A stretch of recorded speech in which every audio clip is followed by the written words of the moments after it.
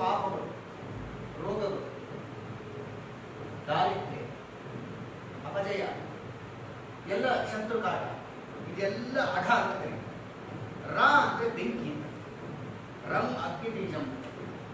ಅಘ ಅಂದ್ರೆ ಬೆಟ್ಟದಂತೆ ಇರುವ ರೋಗಗಳು, ಪಾಪಗಳು, ದಾರಿದ್ರ್ಯ ಇತ್ಯಾದಿ ದೋಷಗಳನ್ನ ರಂ ಬೆಂಕಿಯಂತೆ ಬೆಟ್ಟದಂತೆ ಇರತಕ್ಕ ಆ ಕಷ್ಟಗಳನ್ನ ಸುತ್ತ ಹಾಕ್ತಾರೆ. ಆದ್ದರಿಂದ ರಾಧ ಅಂತ ವೇಂದ್ರ ಅಂದ್ರೇನು ವಾ ಬೇಂಗಾರ ವಾಂಚಿತ ಪ್ರದ ವಾ ಅಂದ್ರೆ ಕೇಳಿದ್ದನ್ನೆಲ್ಲ ಕೊಡುವ ವಿಷಯದಲ್ಲಿ ಇಂದ್ರ, ಶ್ರೇಷ್ಠ. ಉತ್ಕೃಷ್ಟರಾಗಿದ್ದಾರೆ ಇಂದ್ರ ಶಬ್ದಕ್ಕೆ ಶ್ರೇಷ್ಠರು ಅಂತ ಅರ್ಥ ಏನು ಹೇಳಿದಂಗಾಯ್ತು ರಾಘವೇಂದ್ರನಿಗೆ? ರಾಧಾ ಅಂದ್ರೆ ಬೆಟ್ಟದಂತೆ ಇರುವ ಪಾಪಗಳನ್ನ, ರೋಗಗಳನ್ನ, ದಾರಿದ್ರ್ಯವನ್ನ ನಾಶ ಮಾಡುವ ವಿಷಯದಲ್ಲಿ ಬೆಂಕಿಯಂತೆ ಇದ್ರೆ, ಹಾಗಾದ್ರೆ ಬೆಂಕಿನ ರಾಘವೇಂದ್ರ ಸ್ವಾಮಿಗಳು ಇಲ್ಲಪ್ಪ ಬೇಕಾರೋ ವಾಚಿತ ಪ್ರದ ಕೆಟ್ಟದಕ್ಕೆ ಬೆಂಕಿ. ಅಷ್ಟೇ. ಭೀಮಸೇನ ದೇವರು ದುರ್ಯೋಧನಿಗೆ ಘೋರ ಪತ್ರಿಕ ಸಿಂಹ, ಶತ್ರುಗಳಿಗೆ ಭಯಂಕರ ತನ್ನ ಕೂಸಿ ಭಯಂಕರ ಏನು? ಸಿಂಹ. ಬೇರೆಯವರಿಗೆ ಬಾಯಿ ಹಾಕಿದಾಗ ಅವನ ರಕ್ತ ಕಂಠವನ್ನು ಎಳೆಯುತ್ತೆ. ಅದೇ ಬಾಯಿಂದ ತನ್ನ ಮಗುವನ್ನು ಎತ್ಕೊಂಡು ಕರ್ಕೊಂಡು ತನ್ನ ಮಗುವನ್ನು ಇಟ್ಕೊಂಡಾಗ ಆದ ಮಾಧುರ್ಯ ಹೇಗೆ? ಶತ್ರುಗಳನ್ನು ಅಟ್ಯಾಕ್ ಮಾಡ್ತಾ ಸಿಂಹ.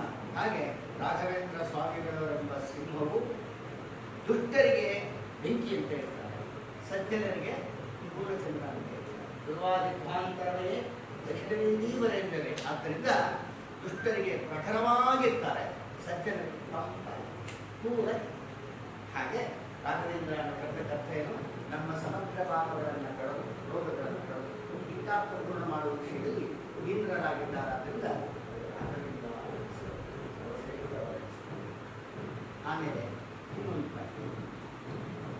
ಯಥಾಂ ಕಲ್ಪವೃಕ್ಷಾಯ ರಥಾಂ ಕಾಮಧೇನು ಹೇಳ್ತಾರೆ ಸ್ವರ್ಗಲೋಕದಲ್ಲಿ ಕಲ್ಪವೃಕ್ಷವೂ ಇದೆ ಕಾಮಧೇನು ಇದೆ ಈ ಎರಡರಲ್ಲಿ ಡಿಫ್ರೆನ್ಸ್ ಇದೆ.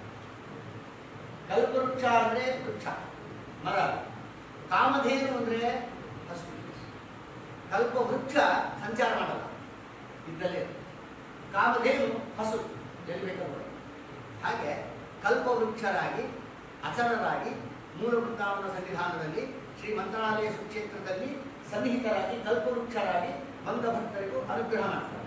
ಕಾಮಧೇನುವಾಗಿ ನಮ್ಮ ಬೆಂಗಳೂರು ನಗರದ ಪೂರ್ಣಪ್ರಜ್ಞಾಲಯ ರಾಘವೇಂದ್ರ ಸ್ವಾಮಿಗಳ ಮಠಕ್ಕೆ ಬಂದು ಕುತ್ಕೊಂಡು ಕಾಮಧೇನು ಹಸುವಾಗಿ ಎಲ್ಲರಿಗೂ ಹಾರನ್ನು ಕೊಡ್ತಾ ಇದ್ದಾರೆ. ಆದ್ದರಿಂದ ಆ ಕಡೆಗೆ ವೃಕ್ಷರೂ ಹೌದು ಹಸುವು. ಆದ್ದರಿಂದ ಅಂಥ ರಾಘವೇಂದ್ರ ಸ್ವಾಮಿಗಳವರ ದಿವ್ಯ ಆರಾಧನೆ ಮಹೋತ್ಸವದಲ್ಲಿ ಪರಮಾತ್ಮನಿಗೆ ಆಯುಷ್ಯ ಆಗಿರ್ತಕ್ಕಂಥದ್ದು